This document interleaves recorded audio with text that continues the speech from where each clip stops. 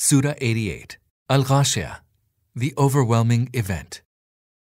In the name of Allah, the most merciful, the most compassionate. Has the news of the overwhelming event reached you? Some faces that day shall be downcast with fear, be toiling and worn out. They shall burn in a scorching fire. Their drink shall be from a boiling spring. They shall have no food except bitter, dry thorns that will neither nourish nor satisfy their hunger. On that very day, some faces shall be radiant with joy, well pleased with their striving. They will be in a lofty garden, wherein they shall hear no vain talk. In it there shall be a flowing spring, and couches raised high, and goblets laid out, and cushions arrayed in rows, and rich carpets leveled out.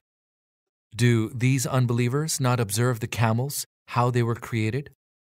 And the sky, how it was raised high? And the mountains, how they were fixed? And the earth, how it was spread out? So render good counsel, for you are simply required to counsel, and are not invested with the authority to compel them. But whoever will turn away from the truth, Allah will chastise him with the most terrible chastisement. Surely, to us is their return, and then it is for us to call them to account.